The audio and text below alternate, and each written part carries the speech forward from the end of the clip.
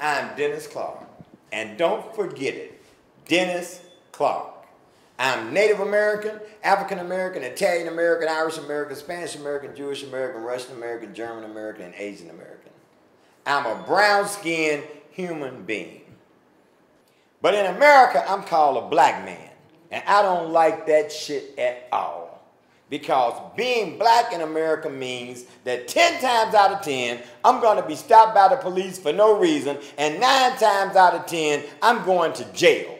And guilt or innocence has nothing to do with whether or not I'm going to jail. So, if you happen to go to jail, Dennis Clark will make your bail. Clark Bail Bond Company, where everybody is somebody, unless you miss court. Whoever said that crime doesn't pay told a damn lie. Crime pays big business, politicians, judges, lawyers, police, me. Hell, we couldn't have court without it. And if black men are not committing crimes, oh, some will be manufactured. Now, don't get me wrong. I'm not here to say the word. I'm going to leave that to the white man that fucked it up. I'm a businessman, and I got class. And if I post your bun, don't make me show my ass.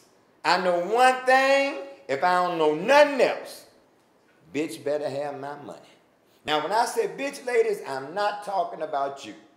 Because a lot of these men are switching to, especially in Atlanta, Georgia. Okay, I, enough is enough. You owe me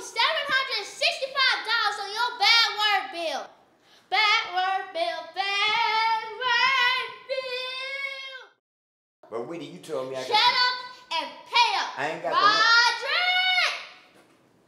the. Another sucker to be. Oh, wait a minute, boy.